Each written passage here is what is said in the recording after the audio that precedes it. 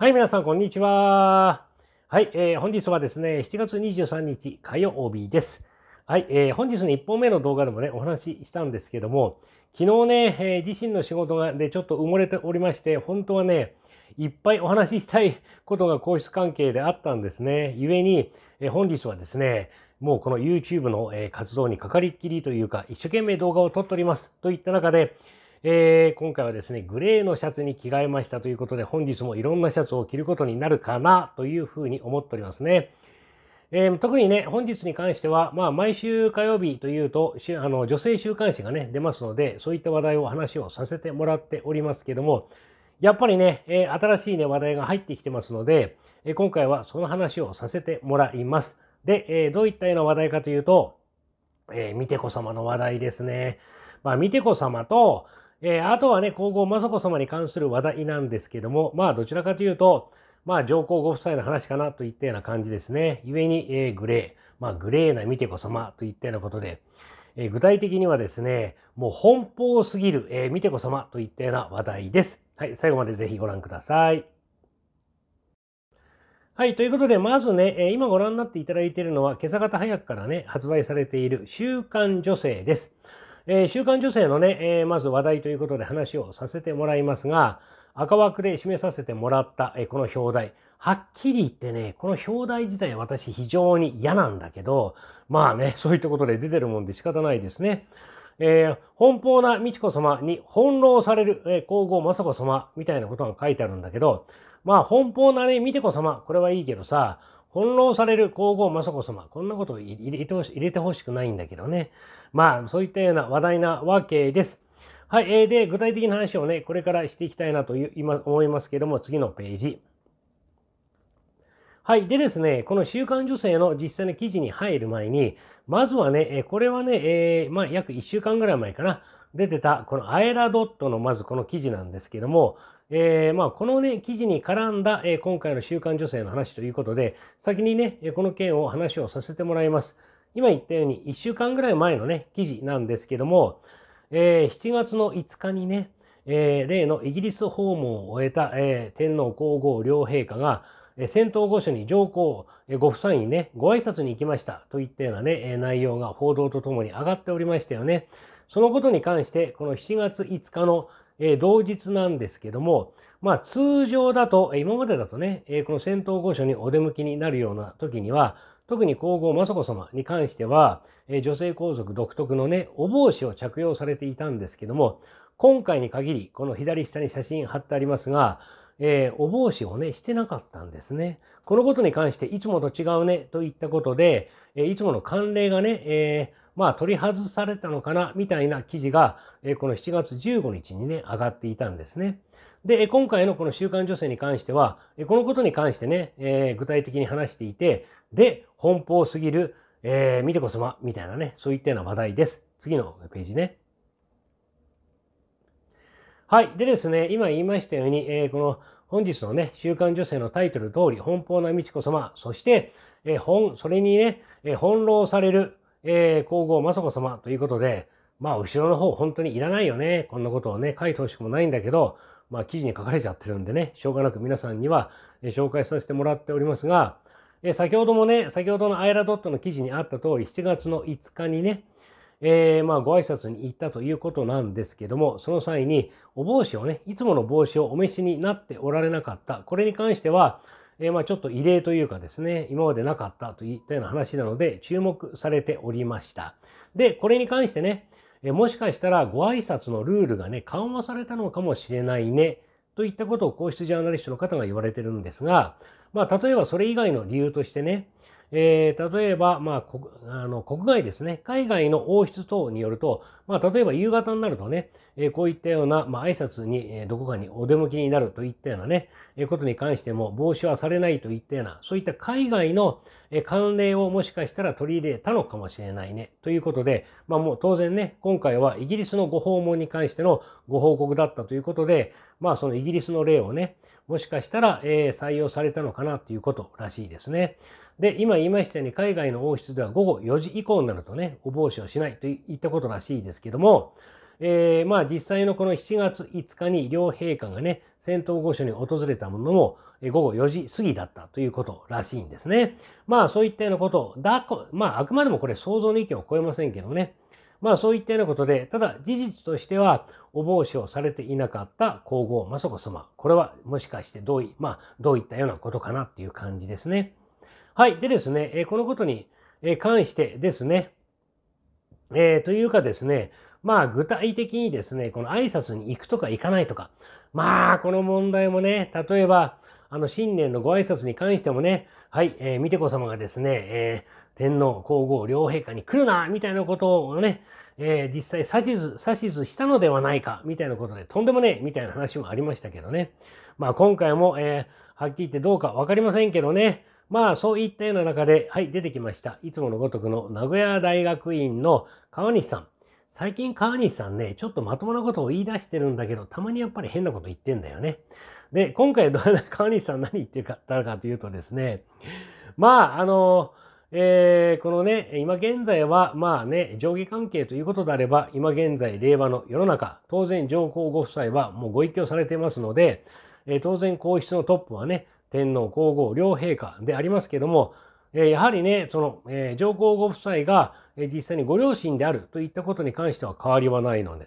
変わりはない。ゆえにですね、えこういったような、今回7月5日のように挨拶に出向かれるのも、まあ、それもありかな、みたいなことをね、え川西さん、え試験として言ってるんですけども、はい、これに関してまず皆さんどう思われますかね？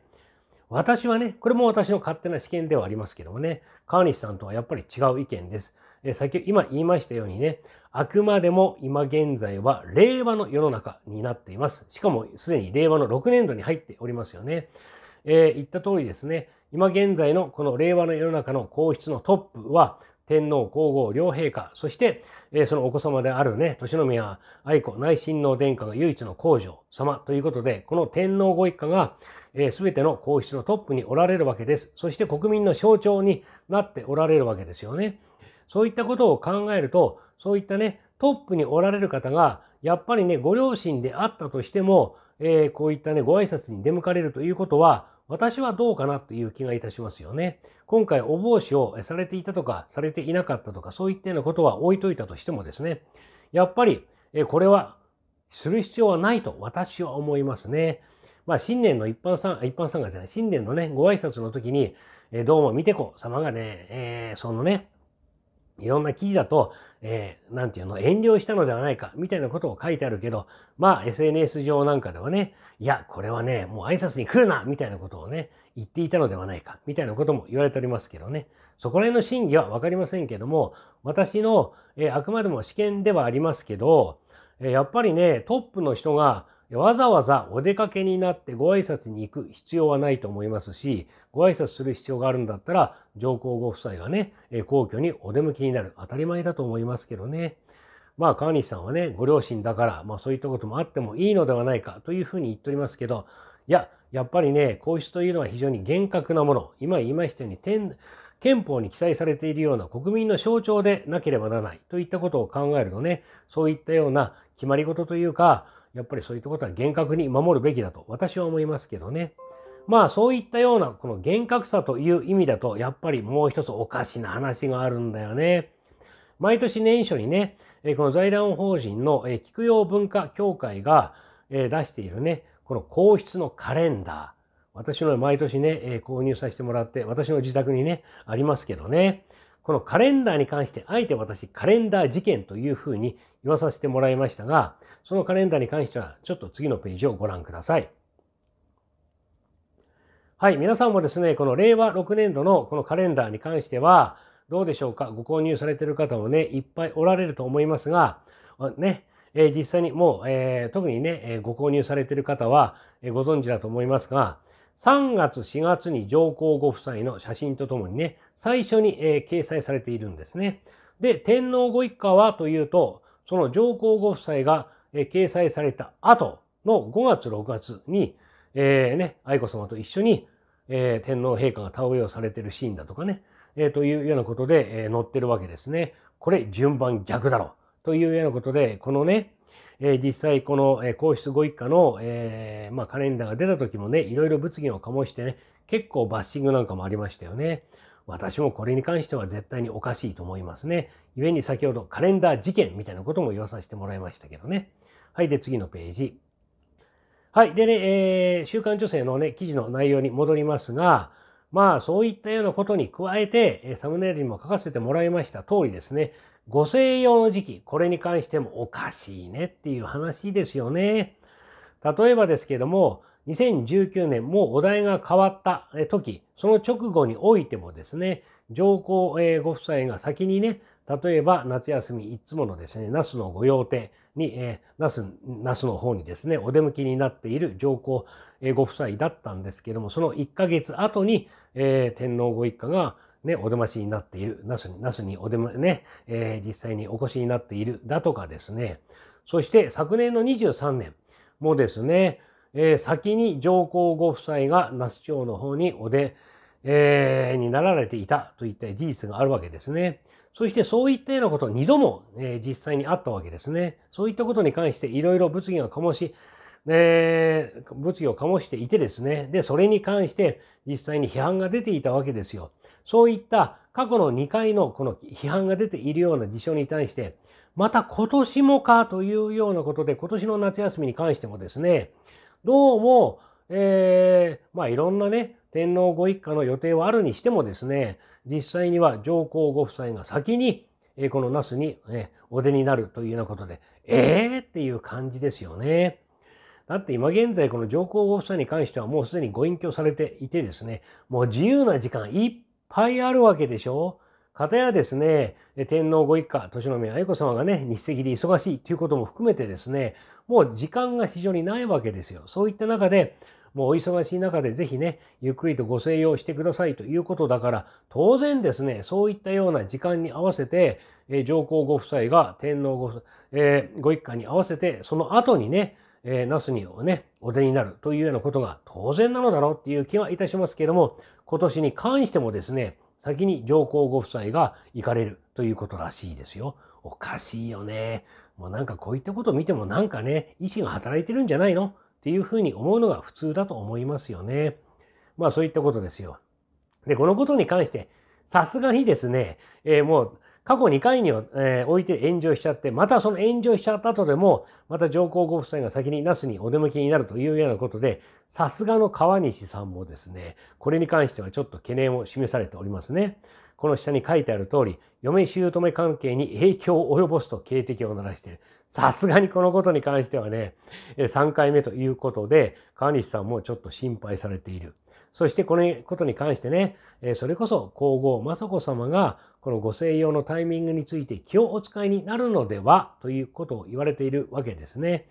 要はどういうことかっていうと、こんなね、1回、2回に限らず3回目ということで、またおそらくね、物議を醸しますよ。間違いない。で、こういったようなことに関して、えー、皇后雅子様がね、ご心配になるのではないか、といったようなことですよね。まあ、そういったようなことでね、まだまだ、えー、雅子様においては、えー、まあ、先日のね、イギリスの訪問も大変だったということもあるので、ね、やはりまだまだね、ご静養が必要なわけですよ。といった中でね、そんな気を使わせるんじゃねえよっていうようなことですよね。結局は、はい、見てこ様のね、奔放すぎる、ね、ご性格なのではないでしょうかっていうことですね。はい、そういったことに関してですね、もうこの人何も言わなくていいよっていうふうに思うんだけど、はい、出てきました。いや、いつものごとくの山下真司さん。もう言わなくていいよっていう感じなんだけどね。要はね、えー、このご静養の問題に関して、現在の皇室制度は明治以降に整備されている皇室典範、そうですね。でそういったのことで、えー、まあ、例の、えー、特例法ですね、単位にされた際のですね、特例法以外においては、えー、実際に見直すね、前例が作られなければいけないといったような中でですね、故に今回の皇室典範改正という話になってるわけですよ。あの皇位継承に関わるね。まあそういったようなことを、まあ今回はね、その問題ではありませんけどもね、まあそういったような、えー、ことだけじゃなくて、要はね、えー、今回のこのご静養の問題に関しても、物議を醸すだとかね、国民が心配する。なんでこんな順番になるんだ？ということで、あくまでも国民の心の問題。まあ、ここまではいいですよ。確かにそういう通りですよね。あくまでも国民がどう思うか。ね、国民の象徴である天皇ご一家がないがしろにされているんじゃないんですかおかしいだろといった国民の心の問題。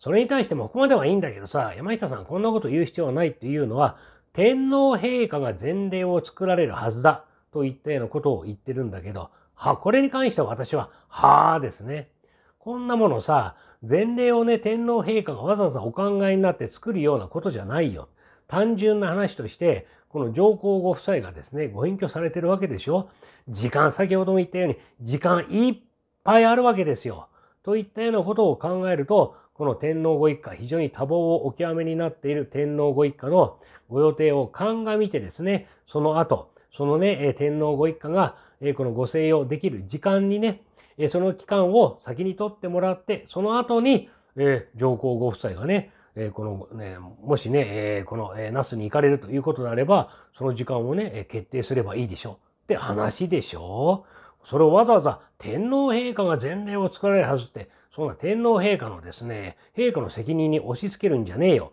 みたいなことを山下さん言ってるんだけど、私変なこと言ってる？言ってないよね。大体ね、出張りすぎなんだよ。みたいなことだと思いますけどね。はい、そういったようなことで、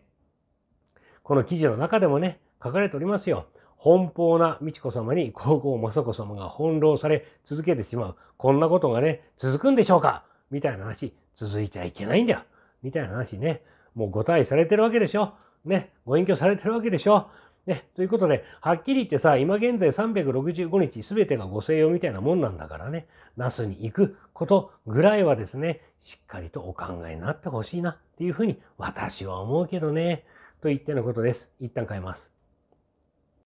はい。といったことでね、本日はですね、この YouTube の活動大忙しといったことで、いろんなね、お話ししたいんですよ。まあ、私も喉の関係があるんでね、本当であればね、ライブ配信でもしてね、1時間ぐらいで全部まとめた話をね、いっぺんにしちゃえばいいんだけど、とてもじゃないけど、喉が破裂しちゃうんでね、えー、そういったことができないので、まあ、こういったね、細切れの動画を皆さんにご覧になっていただいておりますけども、本日ね、えー、これ以外でもまだまだ話したいこと、山盛りですといったことで、一部はね、明日また配信することになると思いますけども、まあ、本日ね、もう一本はおそらく動画出すと思いますので、この後の動画もね、ぜひご覧になっていただければ嬉しいです。はい、今回もね、ありがとうございました。